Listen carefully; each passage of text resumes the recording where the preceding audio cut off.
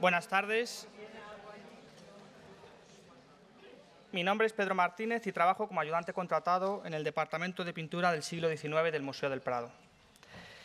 Con motivo de la adquisición, eh, compra, eh, de, la compra, restauración y presentación en la exposición temporal de la sala, en la Sala 60 del díptico con 42 vistas monumentales de ciudades españolas de Genaro Pérez Villamil, exposición comisariada por Javier Barón, jefe del área de conservación de pintura del 19, se han preparado una serie de conferencias que abordarán distintos aspectos eh, eh, para contextualizar y para divulgar aquellos asuntos relacionados con, la, con esta pequeña exposición. La primera fue la que dio el propio comisario sobre el díptico, sobre la obra, y esta es la segunda dedicada al artista, a Genaro Pérez Villamil, nacido en 1807, fallecido en 1854 y que protagoniza esta conferencia. Tú tienes dentro la mente galerías, catedrales y todo el lujo de Oriente, y un mando para pintar. Tú tienes en tus pinceles derruidos monasterios, con aéreos botareles y afiligranado altar. Tienes torres con campanas y transparentes labores, castillos con castellanas que aguardan a su señor, y bóvedas horadadas y silenciosas capillas donde en marmóreas almohadas yace el muerto fundador, y antiquísimas ciudades que por el tiempo roídas cuentan al tiempo verdades que él se desdeña escuchar. Tienes en el valle fuentes, peñascos en la montaña y en los peñascos torrentes que se arrastran a la mar. El poeta José Zorrilla, en, este, en, estos versos del poema La noche de invierno, fechado en 1836, justo en los años en, los que el pintor estaba realizando el díptico, y en un poema, este de La noche de invierno, que le dedica precisamente al propio artista, a Pérez Villamil, resumía de manera eh, breve pero certera el estilo del artista. Y por eso quería empezar con, este, eh, con estos versos, el poema es un poco más largo, para, de, alguna manera, a modo de proemio, introducir una conferencia en la que voy a intentar prescindir del mero relato biográfico, centrándonos, eh, en cambio, en analizar la producción y trayectoria biográfica del artista desde diferentes puntos de vista. Y para ello me voy a servir de una de las obras maestras del artista, eh, recuperada hace muchos años, dos o tres años, si mal no recuerdo, eh, de su depósito y restaurada por Eva Perales y que ahora tienen en sala, eh, mm, en la sala de romanticismo de la colección de pintura del 19, en la segunda sala del itinerario de, esta colección. Como pueden comprobar, el artista se autorretrata tomando, tomando apuntes, se ve el ratón, tomando apuntes eh, en frente del mirando y observando el monumento, eh, en este caso el castillo de Gaucín, y se hace rodear de cuatro bandoleros que, eh, sentados a su, a su lado, eh, observan cómo trabaja. Esta idea del artista dentro del cuadro, observando la naturaleza y la arquitectura, dos componentes esenciales de la obra de Villamil, también están presentes en otra... Es una especie de de lugar común en la pintura del romanticismo. No digo exclusivo de la pintura del romanticismo, pero sí bastante común. Parcerisa, quizá otro de los grandes, bueno, quizá no, otro de los grandes paisajistas del romanticismo español, también en numerosas litografías de su obra Recuerdos y Bellezas de España, de la que hablaremos más tarde, se autorretrata eh, de la misma manera, con el cuaderno, y esto es importante, con el cuaderno eh, o con pequeños bocetos, nunca con una obra de gran tamaño, eh, insisto, con el cuaderno, tomando apuntes eh, probablemente a lápiz o como mucho acuarelas. Eh, por otro lado, ese mismo año, el mismo año de en que está fechado el, cuadro de, Vista del Castillo de Gaucín, Eugenio Lucas, el principal discípulo de Genaro Pérez Villamil, había retratado a su maestro a modo de veneración y homenaje. Quería poner esta imagen para así presentar también de otra manera al artista. La primera producción de Villamil, eh, que iría hasta 1830-33, 1833 eh, mejor dicho, eh, era prácticamente desconocida hasta hace dos, tres décadas y ha ido dándose a conocer fundamentalmente de, la mano de Arias Anglés, el principal especialista bueno, uno de los principales especialistas del, paisaje romántico y que escribió la principal monografía sobre, sobre el artista. Y más o menos en la actualidad esta primera producción ronda 30 obras, las, perdón, mm, ronda unas 20 obras. dos de ellas serían estas, que encuadran al pintor en la ciudad de Cádiz. Sin embargo, Villamil había nacido en el Ferrol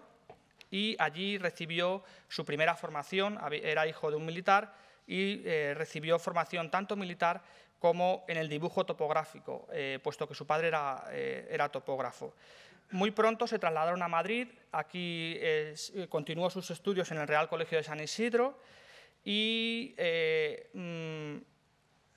como militar participó eh, de la mano de los liberales, en el, bando liberal, eh, en la lucha contra, o para intentar detener el avance de los, 100.000 hijos de San Luis, que como saben vinieron a España en 1823 para eh, terminar con el sueño liberal que había sido estos tres años de 1820 a 1823. Por ello, eh, al, ser derrocado eh, eh, al ser derrocados los liberales, Villamil es hecho preso en Andalucía, que era donde estaba,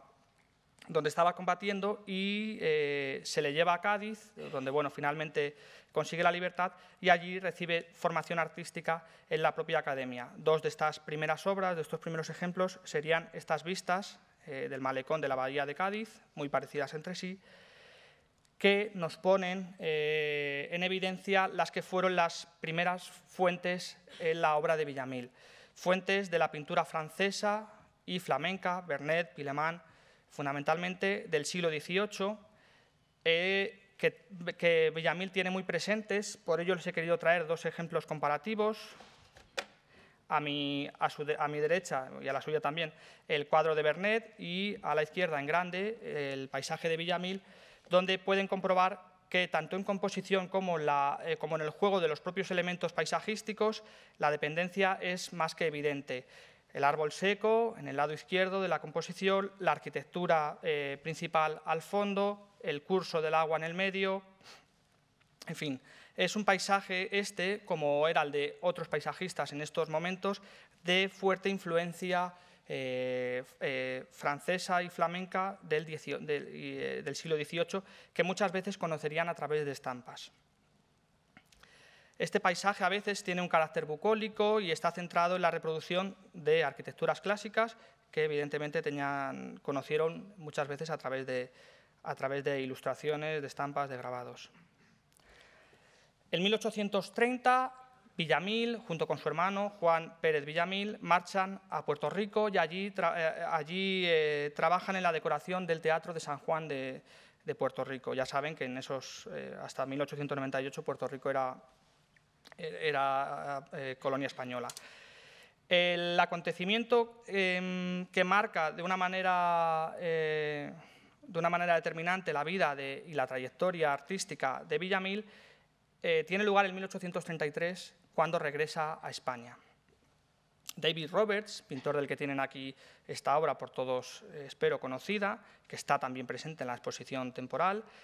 eh, había, era un pintor escocés que había llegado a España por Irún y había, después de haber viajado por Andalucía y el norte de España, eh, perdón, y el norte de África, perdón, se había sentado en Sevilla. Sevilla, junto con Cádiz, eran los dos principales centros del comercio Inglaterra-España y eh, allí se encontraban muchos ingleses, no solo comerciantes, sino también coleccionistas o comerciantes intermediarios eh, con coleccionistas en el extranjero. Era el caso de, Brackenbury y eh, Julian Benjamin Williams, a, quien, a quienes Villamil conoce en Sevilla y posiblemente a, través de estos dos coleccionistas y cónsules también, porque llegaron a tener la categoría de cónsules ambos, en Sevilla y en Cádiz, eh, Brackenbury era de Cádiz, eh, cónsul de Cádiz, eh, a través de, ellos dos posiblemente conoce a David Roberts en el verano de 1833. La influencia y el contacto con la pintura de David Roberts modifica la pintura de Villamil. De ello es buen ejemplo esta comparativa donde queda claro cuál es el punto de partida de la producción eh, de los paisajes de Villamil a partir de este año, de 1833. En la parte inferior tienen una estampa eh, hecha según dibujo de David Roberts y en la parte superior una de las hojalatitas del díptico, eh, en este caso de la hoja izquierda, de la parte superior, en la que queda, queda, claro que el punto de partida para el tratamiento de los, perdón, para el tratamiento de los reflejos del, puente, perdón, del puente reflejado en el río y, del propio hecho de los reflejos, de la manera de reflejar, incluso de la propia manera de componer y de distribuir los diferentes elementos arquitectónicos, está bebiendo en David Roberts. Se ha especulado con una posible visita posterior de eh, Villamil a Inglaterra. Lo que, y digo se ha especulado, lo que sí queda claro es que el propio Villamil tuvo obras, de aparte del contacto directo, tuvo obras de, David Roberts en su estudio, además de otras eh, series grabadas de distintos eh, artistas ingleses. Por tanto, a través de David Roberts, eh, a través de Villamil, mediante la enseñanza de David Roberts, llega a España el paisaje romántico con un acento marcadamente inglés. Y esto lo hace singular, singular y, ahí reside uno de los méritos precisamente de Villamil. Otra comparativa muestra también la influencia de Turner a través de David Roberts en Villamil, como ya demostró eh, Javier Barón en, su texto del catálogo de la exposición de Turner que se celebró hace ya unos años aquí en, eh, el Prado. Eh, esta, manera de jugar con los reflejos, con la luz del ocaso, la, luz del sol en el ocaso, en la, caída de la tarde, que se reflejan por encima de la arquitectura, y que Villamil ha aprendido en David Roberts es sin duda una lección que viene también del propio Turner. A veces la dependencia es más que evidente, pero eh, es no es una dependencia, eh, no es solamente una dependencia, sino que eh, Villamil, para Villamil supone un punto de partida algunas de las composiciones de David Roberts. Aquí, en esta comparativa, es muy fácil decir eh, que Villamil parece que está haciendo como una especie de copia o de réplica de, la estampa de David Roberts. Pero, eh, sin embargo, yo considero que es más un punto de partida. Ha tenido muy clara la composición de su maestro en la distribución de los elementos, la roca con el castillo del Águila, el valle del río Genal y el peñón de Gibraltar, que es esto que se ve aquí, pero, sin embargo, ha modificado a su libre albedrío no solo la parte derecha, sino la propia concepción de la arquitectura integrada en la naturaleza. Eh, la división entre arquitectura y naturaleza está muy clara en David Roberts, pero en el caso de Villamil, y sobre todo eh, de esta parte, de, la parte del, peñasco que queda, eh, sobre el que se asienta el castillo, parece fundirse arquitectura y naturaleza creando una especie de todo orgánico. Y esto es algo que está en Villamil y mm, que en Roberts no está de esta manera. Otra comparación similar en este caso en formato vertical. El formato vertical eh, les facilitaba eh, también eh, acentuar la monumentalidad de, los elementos de la naturaleza y de la arquitectura. En el caso de Villamil apenas se distingue dónde acaba el castillo, dónde empieza la roca, es como una especie de unión, mientras que las líneas están más claras, es un concepto un tanto distinto en el caso de la litografía según dibujo de David Roberts. Eh, como les he comentado antes, Villamil eh, tenía en su estudio numerosos libros de viajes con estampas, eh, fundamentalmente litografías, ingleses y franceses. Esos libros quedaron en poder de su hijo, de Eduardo Pérez Villamil, y algunos de ellos acabaron años después, como es el caso de este, este libro y estas láminas, que pertenecen son las láminas que pertenecen al mismo libro, que acabaron, como muchos otros, en la Biblioteca Nacional, donde se conservan, en la Biblioteca Nacional aquí en Madrid. Bien, entonces la enseñanza eh, del, paisaje romántico inglés para Villamil es un punto de partida que, eh, por supuesto, cambia completamente eh, su pintura con respecto a la primera etapa que hemos visto, pero en el caso de Villamil, se transforma a través de la técnica, una técnica muy particular, algunas de, cuyos detalles están tomados directamente de su maestro, de David Roberts, pero que en el caso de Villamil adquieren una entidad realmente destacada por el dominio y el empleo certero de diferentes técnicas fundamentalmente usadas con un fin expresivo. A partir de, ahora y durante las siguientes diapositivas les voy a enseñar una serie de detalles eh, donde voy a intentar explicar eh, en qué consisten estas distintas técnicas, muchas de ellas presentes en el díptico y que bueno, pueden disfrutar eh, en vivo. ¿no?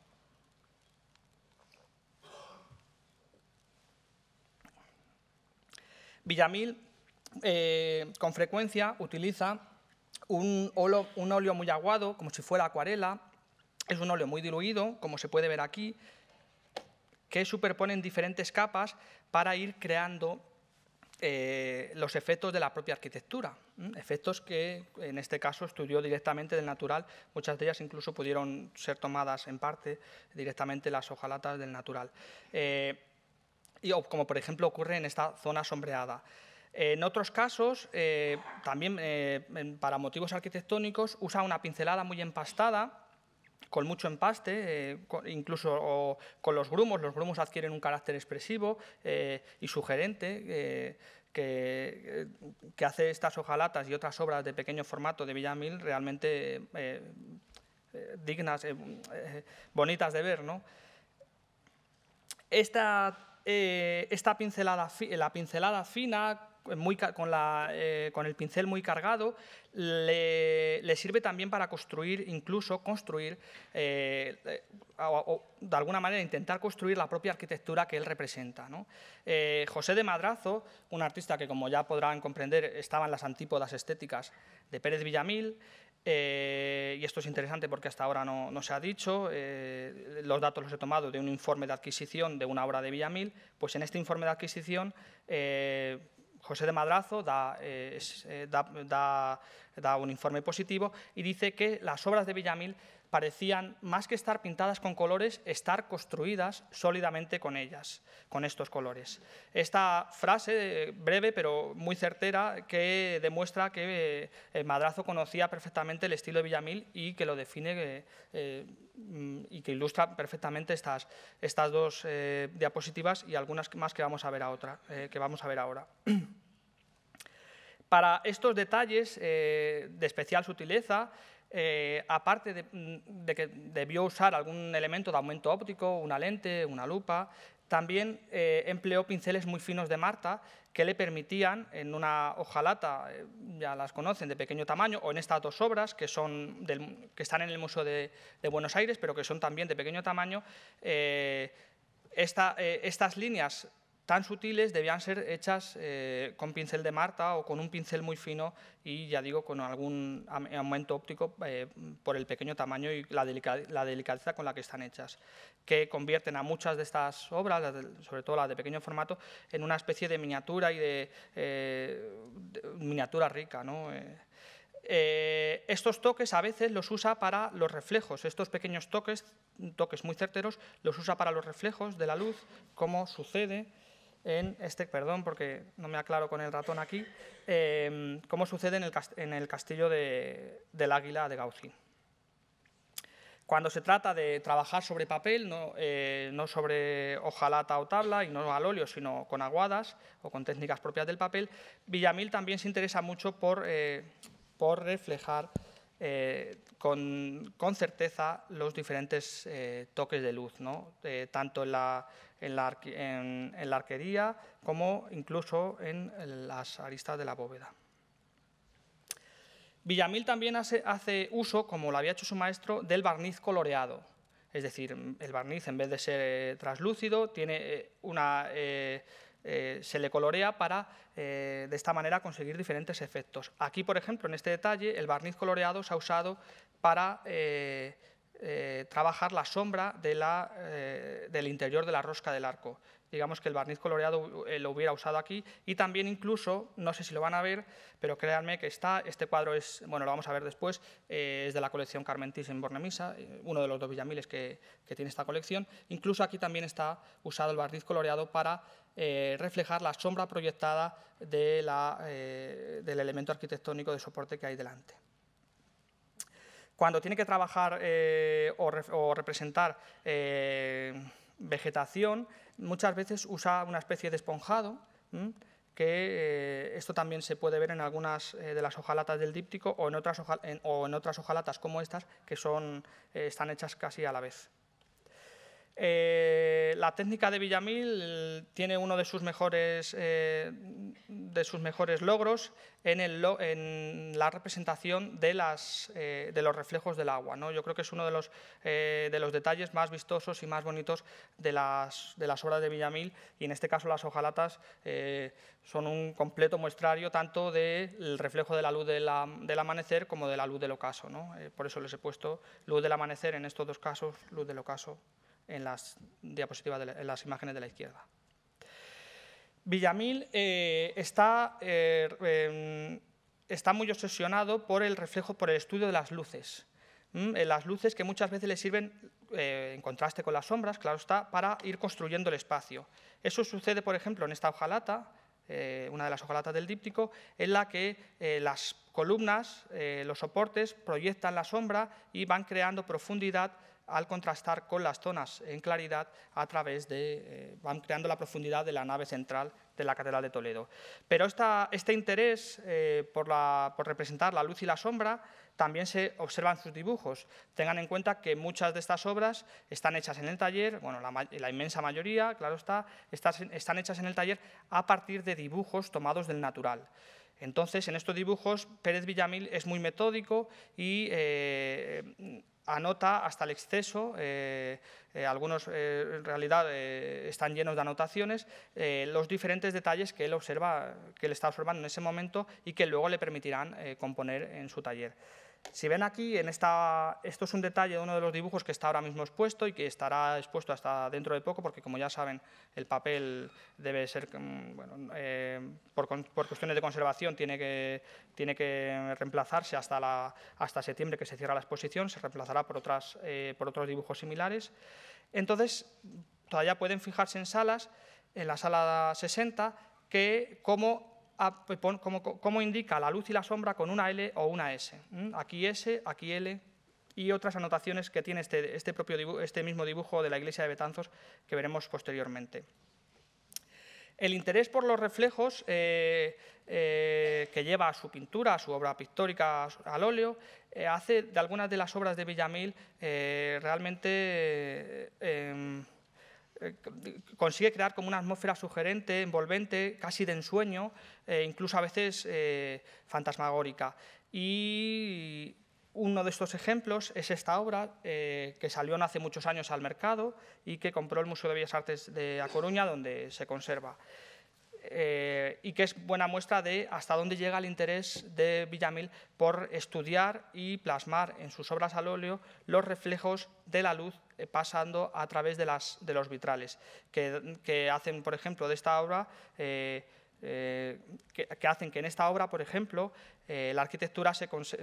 convierta, pase del blanco a, una arquitectura totalmente coloreada. ¿no? tienen nada más que ver estos detalles en los que la luz ha, convertido la rosca del arco y los paramentos en un juego de colores, ¿no? como en realidad eran muchas catedrales góticas. Eh, la idea esta de atmósfera envolvente o de ensoñación o sugerente está, por ejemplo, también en, este, en, este pequeño, en esta pequeña obra que conserva la Biblioteca Nacional o eh, de una manera ya eh, más evidente en esta obra final, eh, obra de, del último, de, los últimos años de Villamil, a la que volveremos posteriormente, en la que la luz, eh, eh, el uso de los reflejos enfatiza incluso el propio significado del, del asunto representado, con una visión completamente simbólica.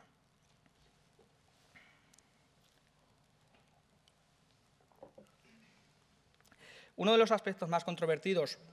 de la producción de Villamil es, eh,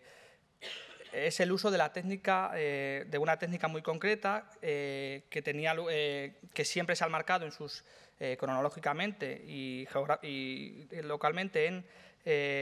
las sesiones que tenían lugar en el Liceo Artístico y Literario, liceo que como muchos de ustedes sabrán estaba aquí en el Museo Thyssen-Bornemisza, el Palacio de Villahermosa, y en las que Villamil competía a menudo en una competición claramente amistosa con su discípulo Eugenio Lucas. Eran ejercicios de rapidez y de destreza en la que eh, lo que primaba era terminar una, obra en el menor tiempo posible, una obra eh, eh, basándose en manchar el papel o el soporte con diferentes borrones y esos borrones debían sugerir la imaginación del artista, la imaginación creadora del artista, una determinada forma a la que, eh, a la que darían, eh, darían forma eh, a través de los pinceles. Y estas dos obras se ha pensado, tradicionalmente la historiografía ha pensado que eran precisamente esto, ¿no? fruto de una competición entre Eugenio Lucas y Genaro Pérez de Villamil en el Liceo Artístico y Literario, los dos, separados, habrían eh, hecho cada uno su obra eh, y habrían eh, producido esto. En realidad, las, similitudes que hay entre la tablita de Eugenio Lucas y la tablita de Villamil parece evidenciar que en este caso, más que esto, debió ser que ambos tomaron una lámina o una, estampa de, referencia y a partir de ella intentaron imitarla. Porque además estas dos obras tienen la aliciente de que Eugenio Lucas intenta imitar la técnica de Villamil y Villamil intenta imitar la técnica de Lucas. Es decir, la técnica de Lucas es siempre más empastada, precisamente lo que está haciendo Villamil en este, en este caso, más empastada, menos fina, mucho más, eh, mucho más nerviosa, mientras que eh, la de Villamil, que es lo que está haciendo Lucas, es mucho más cuidada, con menos empaste, más fina. Esto ya fue sugerido por esta idea de que en realidad estaban tomando una misma lámina y que era un juego de, imitar la técnica del discípulo del maestro y del maestro del discípulo, ya lo sugirió eh, Gaya Nuño. Precisamente este, esta manera de producir de Villamil, es decir, eh, a partir de dibujos en su taller eh, y donde la imaginación tenía un componente, eh, tenía un papel fundamental, fue una de las cosas que la historiografía más ha denostado, este alejamiento de la realidad y este componente fantástico e imaginativo en su pintura fue y ha sido uno de, las, de, los, mayores descréditos que, la historiografía ha hecho a la pintura de Villamil. Eh, muchos de ustedes conocerán ya la opinión de Martín Rico, discípulo de Villamil, quien en sus memorias habla precisamente de esta competición, bueno, de este tipo de competiciones y también eh, evidencia y lamenta que en su, maestro hubiera tal falta de verdad. Pero yo he decidido traerles otro testimonio, eh, hasta ahora inédito, que vierte Polero en unas memorias inéditas y en este sentido tengo que agradecer a la familia, a los descendientes de Polero, haberme eh, dejado acceder a estas memorias interesantísimas y que esperemos se le pueda sacar partido dentro de, un tiempo. Polero eh, define el trabajo de Millamil de esta manera. Dice que hace de memoria sus paisajes y comenta, preparados media docena de lienzos y dibujados a su manera, iba estableciendo pegotes de color a capricho, que después de bien secos raspaba, dibujando y acusando por medio de veladuras los detalles, haciendo un gótico, un románico, árabe y renacimiento de nueva dimensión, y de tal manera colorido que parecía todo el alumbrado por luces de bengala. Pedro de Madrazo, en otro testimonio, eh, en un informe de adquisición, creo recordar, eh, comenta, eh, en sus paisajes, en los paisajes de Villamil, no es fácil determinar dónde tiene su límite el estudio y la imitación y dónde empieza a aparecer la exuberante espontaneidad de la fantasía. Bien, esto eh, es en parte cierto, eh, es decir, el componente imaginativo y fantástico de la obra de Villamil es eh, definitorio de, la propia, de, su propia producción, pero eh, muchas veces estas obras tienen un punto de partida claro de, la, de, los dibujos que el propio artista toma del natural. Les voy a enseñar aquí una serie de, eh, de ejemplos en las próximas diapositivas. En el caso de arriba es más que evidente que Villamil ha estudiado del natural el palacete de la Alameda de Osuna, que ha incluido al fondo de este cuadro, y en esta obra, eh, hasta ahora inédita y que salió eh, poco después del díptico a subasta, eh, también procedente de la colección de George Villiers, el Lord Clarendon, la, evidencia, la, similitud y la dependencia del dibujo es mucho más evidente. Está la puerta de Alcalá, el corral de la Plaza de Toros, que muchos de ustedes sabrán que había una plaza de toros en, en uno de los lados de la, de la, actual Plaza de la Independencia y el corralón con, con los animales, incluso el, eh, la propia Plaza de Toros, que ven que tiene este, esta forma circular aquí a, la derecha, a la izquierda de la composición. Cuando les comentaba eh, los apuntes, eh, que muchos de estos dibujos están llenos de apuntes, me refería más o menos a esto. Aquí ven cómo está diciendo mucha luminosidad, identifica, por supuesto, el motivo que ha representado, la Iglesia del Salvador, aquí en Madrid ya desaparecida, incluso siempre fecha con día, mes y año el dibujo. Bien. Pero el carácter de Villamil es un carácter a veces, en sus dibujos incluso, selectivo. Les vuelvo a traer, esta vez completo y en blanco y negro, puesto que estos dibujos, eh, em, debido a la sutilidad del trazo del lápiz, eh, muchas veces se ven en, mejor en imágenes en blanco y negro, y esto me ha complicado bastante porque no sabía ya qué poner y, al final me he decidido por las fotos en blanco y negro porque creo que, creo que ustedes lo verán mejor. Bueno, hablando del carácter selectivo de, de Villamil, y esto lo pueden comprobar en la sala porque este es uno de los dibujos que está expuesto, si observamos aquí justo en, eh, a la entrada del presbiterio, anota, aquí un altar detestable que no quiero hacer, porque demuestra que eh, había también un carácter selectivo y de una manera clara eh, y evidente. Sus acuarelas también muchas veces son se, ha dicho tradicionalmente que son lo, que, eh, lo más dependiente del natural, lo que más eh, fidelidad guarda al modelo natural. Algunas de ellas son de gran belleza, eh, la de la izquierda, la del Ayuntamiento de Bruselas, la tienen ahora, ahora expuesta, la de la derecha está en, en una colección particular y las dos son fruto de un viaje que Villamil realiza, bueno, de una estancia, en realidad fue una estancia que Villamil realiza en París entre 1840 y 1844, coincidiendo con la regencia de Espartero, con lo cual se ha, especulado que realmente fuera una especie de, autoexilio en, un momento político complicado. Eh, aparte de esto, en esos años es cuando él eh, dirige en París la España Artística Monumental. Desde París eh, viaja a diferentes lugares de la actual Bélgica. Como por ejemplo Malinas en, el norte, en Flandes. Otras acuarelas de gran belleza son, por ejemplo, esta del Colegio, del Colegio San Pablo de Valladolid, que guarda precisamente el museo que alberga este, este edificio. Son de gran interés los dibujos porque demuestran hasta qué punto eh, a Villamil le interesa la realidad cotidiana, la vida cotidiana de la gente, y por ello son gran interés. Les, los vuelvo a poner en blanco y negro, eh, aunque pertenecen a la colección, dos de, de, ellos pertenecen a la colección del Prado.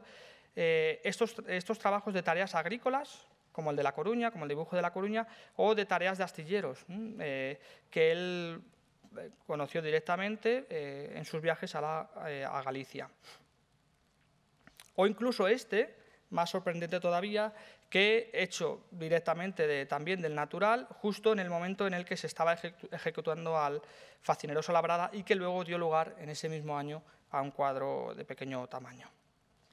Este interés por lo cotidiano tiene quizás su mejor, por los asuntos eh, históricos contemporáneos, tienen su mejor interés, transformado siempre por una visión del paisaje que en caso de Villamil es obviamente muy marcada, en un pintor paisajista como él, eh, tienen su mayor interés, digo, en los distintos paisajes eh, que hace eh, centrados en el ferrocarril, que debió sorprenderle bastante, puesto que son, ya digo, bastantes las obras que tiene, algunas de ellas únicamente identificadas, perdón, únicamente identificadas a través de documentación, no están identificadas con una imagen o no están localizadas las obras, pero sí sabemos que hizo otras, otras varias con motivos del ferrocarril. Este interés eh, por reflejar, eh, por hacer de la arquitectura una arquitectura muchas veces que es una arquitectura vivida, es decir, con personajes que no son simplemente un añadido para, eh, para remarcar el tipismo o para remarcar la localización geográfica del lugar que esté representando en ese paisaje, sino que muchas veces eh, completan el significado y el sentido de sus paisajes o de sus vistas arquitectónicas de interiores, como en este caso. Es el caso de este cuadro bastante maltratado por, el paso del tiempo, que está en la colección Banco Santander, y en el que Villamil, si se fijan, yo me he fijado en detalle, está representando con exactitud, pero con exactitud, solo le faltan en realidad los reposteros Mm, bueno, en, otras composiciones de Catedral de, la Catedral de Sevilla sí los incluye, pero solo le faltan aquí los reposteros de color rojo que se ponían en la festividad del Corpus. Pero por lo demás está representando con exactitud el momento en el que el, celebrante, acabada la ceremonia, eh, la, perdón, la, Eucaristía, está entregando a los diáconos eh, la sagrada forma, el Santísimo, para colocarla en la custodia, custodia recogida con total eh, exactitud, mientras los seises, que están aquí vestidos de rojo, porque es la festividad del Corpus, si fuera eh, la festividad de la Inmaculada, vestirían de azul, están esperando a que, se inicie la procesión que comenzará a desarrollarse por aquí hasta salir al, exterior. Eh, este interés por reflejar y por remarcar el significado de la arquitectura o de las vistas arquitectónicas con personajes vinculados a ellas eh, se ve también en, otra en una hojalata del díptico, en la que, si se fijan, está representando al pertiguero.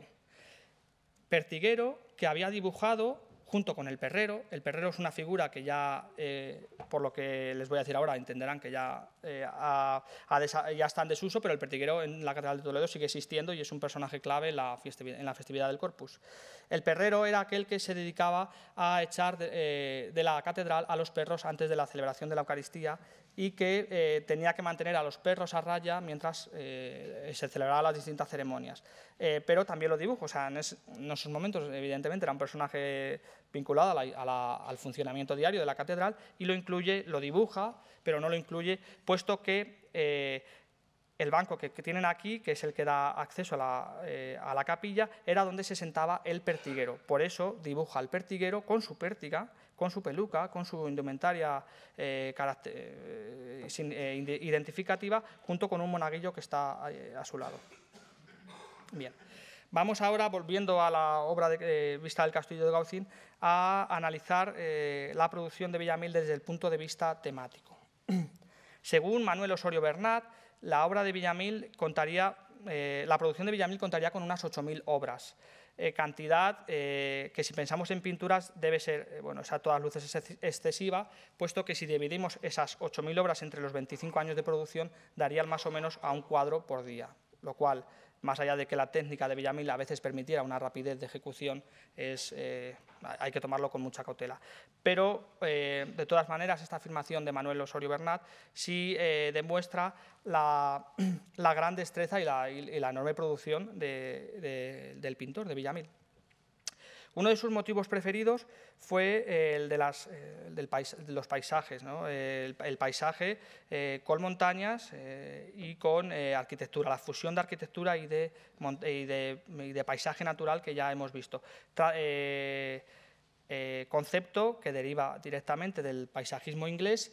no solo esto, sino la idea de demostrar la grandiosidad de la naturaleza frente a la insignificancia del ser humano eh, que es más, más que nada eh, eh, una anécdota, pero que está aquí porque demuestra que frente a la, a la, a la pequeñez del ser humano está la grandiosidad de la naturaleza. Naturaleza que se funde, en este caso, con los elementos arquitectónicos. en, este, en, en, cuanto a los elementos arquitectónicos, Villamil se interesa sobre todo por la arquitectura medieval y renacentista. Eh, y en muchas ocasiones por el gótico, dentro de la mentalidad romántica de recuperación de los estilos del pasado, que vio sobre todo en el gótico eh, un elemento a, recuperar. Eh, aquí tienen otra versión del castillo de Gaucín, donde es casi completamente diferente y donde solo parece identificarse con el, con el cuadro que pintaría un año después, esta, este pequeño promontorio con la cruz en la parte superior que también incluye en, en, el cuadro del Prado y que, por ejemplo, no, había incluido, eh, no incluía la litografía de David Roberts. Aquí tienen otro, otro paisaje que pertenece a la Fundación Fusara o la antigua Fundación Santa Marca, aquí en Madrid. Esta visión eh, grandiosa de la naturaleza también eh, incluye a veces, en esta, en esta, visión se incluyen a veces vistas de ciudades, como esta que cuesta reconocer, pero que en realidad es Toledo, con el Alcázar, la Catedral y el río Tajo con el puente de San Martín, si mal no recuerdo. Eh, a veces sus paisajes montañosos, eh, donde la arquitectura ya no juega un, papel tan, tan importante como, los dos, como las obras anteriores, se convierten en paisajes realmente fantasmagóricos, eh, completamente ideados eh, eh, en la imaginación del artista, sin referentes del natural, como es este caso. En este caso está claro que el modelo es, bueno, que el punto de partida han sido los propios picos de Europa. Junto con estos grandes paisajes, la documentación a veces habla de paisajes, y lo dice así, paisajes de capricho. Serían estas obras en las que la arquitectura está completamente inventada, son elementos arquitectónicos de difícil o a veces imposible filiación estilística y a veces incluso desafían, estos elementos arquitectónicos desafían la lógica de la construcción, como ocurre con este arco, que prácticamente sería cualquier arquitecto se volvería loco para hacerlo y, se le caería el edificio. Eh, más, más, allá de esto anecdótico, pero sí son eh, paisajes inventados en los que Villamil se recrea con, los motivos arquitectónicos que eh, más le gustan. ¿no? lo obsesionan, por ejemplo, mucho los contrafuertes, que repite constantemente en sus, en sus obras, sobre todo de invención, ¿no? y que tampoco tienen significado explicación arquitectónica en, un edificio eh, de poco calado y de, eh, con, poca fuerza como este. No, no tendría sentido eh, la existencia de contrafuertes. En, esta idea de Mm, de vacadas o que a veces representa individualmente, no con un paisaje de fondo, Villamil está bebiendo de motivos eh, flamencos. Eh, la pintura flamenca también era un referente en esos momentos, eh, piensen por ejemplo en, Teniers, para, digo en el caso de Teniers, para por ejemplo em, Eugenio Lucas. Estos paisajes de capricho también pueden ser de mayor tamaño y de mayor envergadura, como es el caso de este cuadro de la colección Carmen Thyssen, en el que de nuevo insiste en recrear, en, su, en plasmar lo que él recrea en su imaginación como un edificio eh, de, imposible eh, filiación estilística. Puede recordar a, elementos mudéjares de Aragón, por la torre con ladrillo, pero en, el que de nuevo insiste en eh, estos elementos ideados eh, inventados, los contrafuertes, eh, la, proliferación de contrafuertes y en los que, como en este, en este caso además, incluye un repertorio de diferentes tipos populares de provincias españolas. Igual ocurriría en este caso en el que mezcla, como ya decía Polero, eh, tanto un gótico como un, como un supuesto, supuesto estilo mudéjar. En 1835, por eso les pongo esta obra, Villamil, tras, eh, eh, tras, tras, diferentes polémicas, consigue eh, entrar como académico de mérito en la Academia de Bellas Artes de San Fernando, una institución que era realmente reacia a dar carta de naturaleza al paisaje como género puesto que consideraban que eh, estaba el paisaje, la, creación de paisajes estaba ajena completamente a, cualquier carga intelectual. Y será Villamil eh, el, primero que, el que de alguna manera en España, esto en, Europa ya no ocurría, ponga el paisaje o introduzca la enseñanza del paisaje en la academia. De ellos, eh, eh, y esta obra precisamente es de ese año, de 1835, cuando ingresa en la academia como académico de mérito. Eh, la cátedra de paisaje, que también la ocuparía él, la ocuparía en 1846, la primera. esta,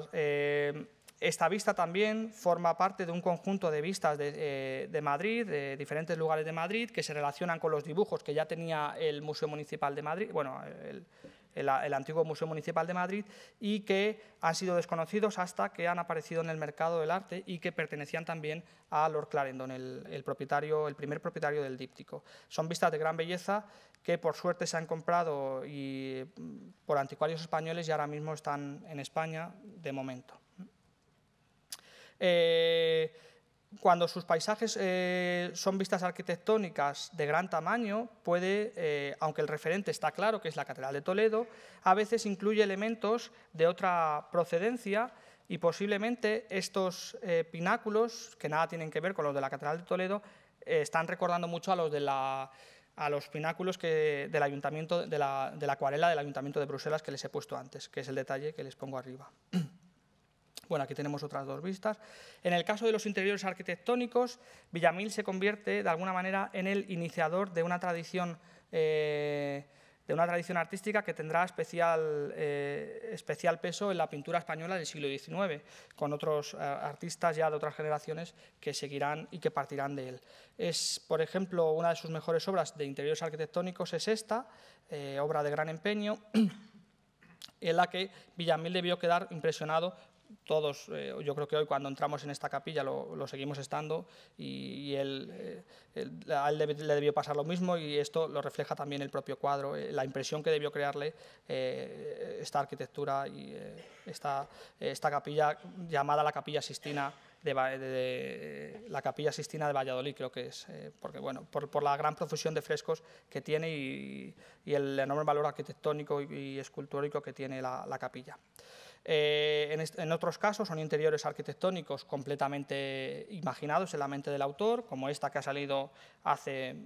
tres, cuatro meses en aquí en, una subasta madrileña, o este que ya conocerán muchos de ustedes, un cuadro de gran tamaño que está en la Academia de San Fernando. Aquí les pongo otros ejemplos de seguidores bueno, o, pintores de, interiores arquitectónicos. Eh, de otra generación y bueno, donde evidentemente la, eh, eh, la, tradición estética es completamente diferente y, los principios estéticos son muy diferentes a la, a la obra de Villamil. A Villamil, como hemos ido ya viendo, también le interesan mucho los tipos populares, uno de estos ejemplos está precisamente en el álbum de Cecilio Pizarro. El único dibujo que en este álbum, álbum por cierto de, eh, Cecilio Pizarro, que, era, eh, que fue discípulo de Villamil, el único dibujo que no es del propio artista es precisamente el de su maestro, este de estos tres, tres tipos populares. De, este interés por los tipos populares en la obra de Villamil también dan ejemplo otras hojalatas que, igualmente que las vistas de Madrid, pertenecieron al propietario del díptico, a Lord Clarendon, y que también están eh, ahora en el mercado madrileño. Son, vistas, eh, son mm, hojalatitas pequeñas de gran belleza y de gran interés, en las que Villamil no hace sino retomar la tradición de, o el gusto por los tipos populares españoles que ya desde finales del siglo XVIII eh, habían empezado a difundir, se habían empezado a difundir a través de diferentes repertorios grabados. Este, este gusto por lo, por los tipos populares españoles, llegó también incluso a, soporte, a, soportes tan, eh, tan curiosos como las barajas, creando la baraja goyesca de la fábrica de Clemente de Rojas,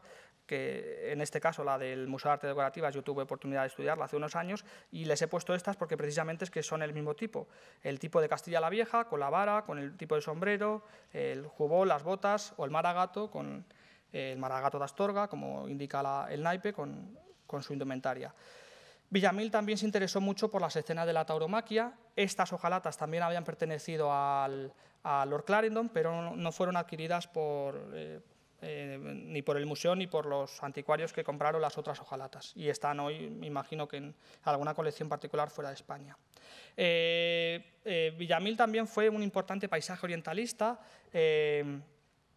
Eh, donde la imaginación tiene evidentemente un componente fundamental, puesto que nunca eh, viajó a Oriente y eh, se, debió basar en grabados o en su propia imaginación para intentar recrear esta visión completamente ensoñada de un Oriente a veces idealizado o a veces lejano, pero a veces cercano. Aquí, en este caso, imagina la Sevilla en tiempos de los árabes, la Giralda se ha transformado en otra construcción que más o menos identificamos por la silueta, pero muy diferente. Ha, desaparecido, por supuesto, la iglesia, creo recordar, de San Jacinto, que estaría en, esta, en este lugar, en, una vista actual, y ha incluido elementos arquitectónicos propios de la arquitectura musulmana.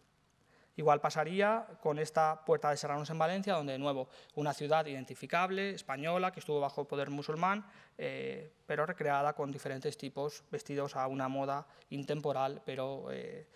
mora. ¿no? Más imaginativos son todavía estas recreaciones, en las que posiblemente debió basarse, por lo menos en las arquitecturas, en, algún, en alguna estampa, y que reflejan pues, eh, simplemente visiones orientalistas.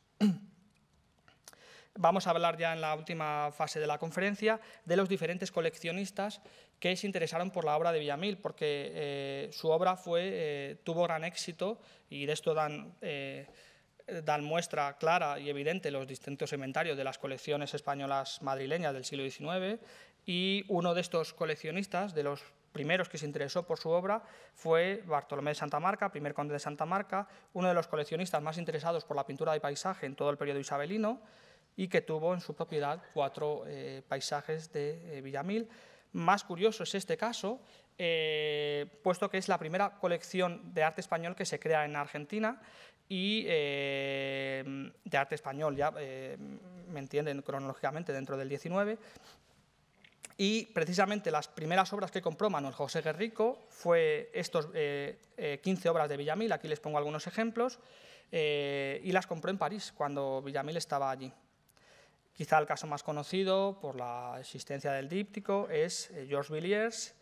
quien fue, sin duda, por lo que sabemos hasta, hasta ahora y la documentación demuestra hasta este momento, el principal o el que mayor número de obras tuvo, tanto coleccionista extranjero como español, de Genaro Pérez Villamil. Aquí les muestro el díptico y eh, estas, todas estas hojalatas que debían estar montadas, eh, por, lo que, por lo que la documentación indica, en un mismo soporte, pero que eh, salieron al mercado separadas y bueno, ya perdidas, perdida la unidad de momento puesto que eh, bueno, se ha, perdido al subastarse y al pasar de mano a manos diferentes. ¿no?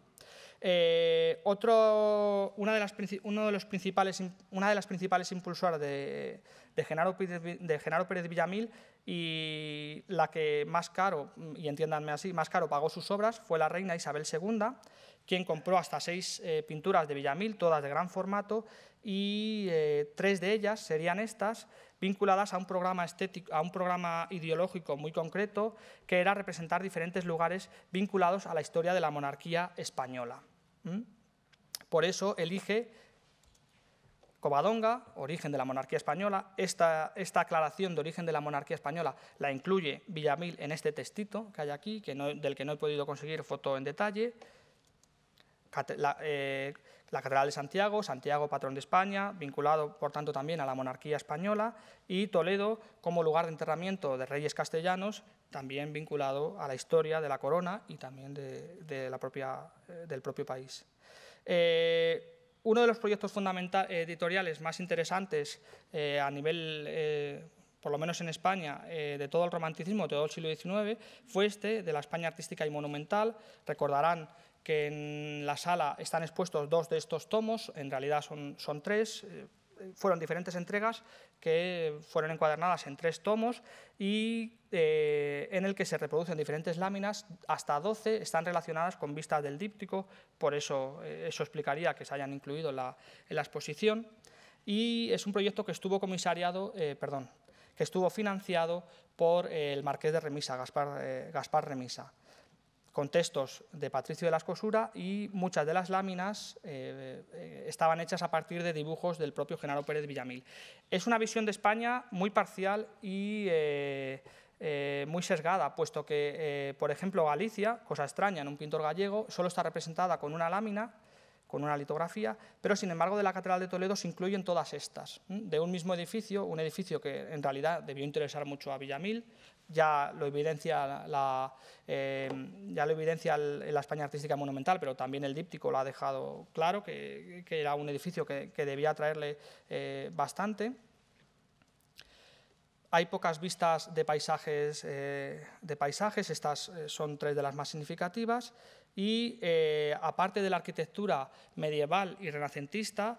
hay algunas excepciones a esto, que es la que este, estas dos arquitecturas son las que priman, pero hay algunas excepciones que serían eh, las de las, litografías eh, que recogen algunos detalles del Palacio Real.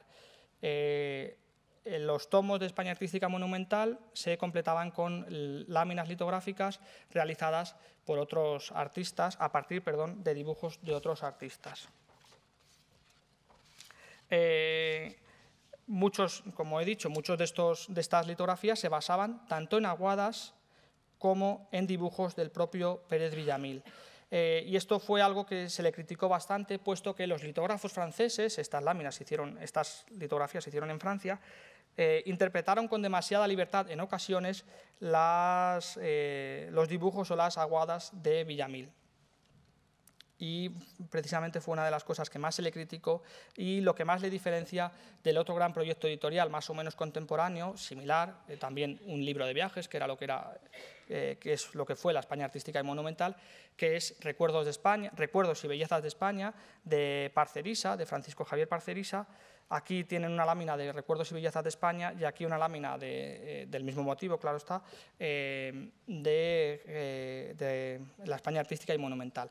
Eh, Recuerdos y Belleza de España es bastante más fiel, pero son litografías de mucha peor calidad. Yo creo que esto lo pueden, eh, lo pueden comprobar aquí. Eh, aquí hay mucha mayor, muchas mayores, mucha mayor variedad de tintas, mucho mayor detalle, si bien la imaginación de los, litógrafos, de los litógrafos franceses ha dejado, en evidencia, se, queda en evidencia al comparar las múltiples arquerías que inventan en la Torre del Oro con, las, eh, bueno, con la que en realidad eh, eh, refleja la litografía de Parcerisa. Aquí tienen otra lámina de, de, uno una de las vistas que también hace Pérez Villamil. El principal discípulo de, de Villamil fue, como ya hemos comentado, Eugenio Lucas Velázquez. de esto da buena muestra esta obra, pintada en 1861, cuando Pérez Villamil ya había muerto, y pintada en un momento eh, en el que ya la pintura de paisaje, tal y como la había concebido Villamil, la pintura de paisaje romántica, había quedado eh, postergada, casi silenciada, por la llegada, eh, bueno, o por el éxito en 1856, en la Exposición Nacional de Bellas Artes de 1856 de Carlos de Aes. La pintura realista, con un concepto y una visión completamente diferente eh, o muy diferente del paisaje romántico tal y como lo entendía Villamil o cualquiera de sus discípulos, eh, terminó silenciando a la eh, pintura de paisaje, a la, obra de, Pérez Villamil. Y de esto se lamentaba incluso el propio Martín Rico en 1906 en sus memorias, bueno, ya saben que se publican en ese año, cuando decía que que le causaba tristeza pensar que ya en ese momento nadie recordaba a su maestro, al que había sido su primer maestro, Pérez Villamil. La figura eh, de Pérez Villamil eh, fue recuperada eh, a partir de los años 20 por Menéndez Casal, a partir de los años 20, de 1924 es cuando, cuando Casal publica su pequeño librito sobre Pérez Villamil, y eh, mucha de su obra quedó en mucha de la obra de Villamil, no solo obra terminada como este cuadro, sino dibujos y distintos apuntes quedaron en propiedad de su hijo, de Eduardo Pérez Villamil, quien a partir de los años 60 fue distribuyéndolos o ofertándolos en venta eh, a diferentes coleccionistas y instituciones españolas. En el caso del Museo de la Trinidad ofreció cuatro obras Solo se compró esta, esto estoy hablando de 1863, y se compró con la oposición firme de Pedro de Madrazo, eh, pero con eh, la firme determinación también de eh, Gregorio Cruzada, el director del Museo de la Trinidad, Madrazo era, Pedro de Madrazo era el director de la academia, de comprar la obra, de comprar alguna de estas obras. Se compró solo, solo esta en ese momento. La adquisición, por tanto, del díptico de Villamil supone eh, un punto eh, de inflexión en el conocimiento de la obra de Pérez Villamil, eh, puesto que ha revelado cosas hasta ahora desconocidas de su producción y de su visión del paisaje y, por tanto, supone una aportación de especial trascendencia en el conocimiento de la obra del que fue el principal paisajista romántico español, de Genaro Pérez Villamil. Muchísimas gracias. Mm.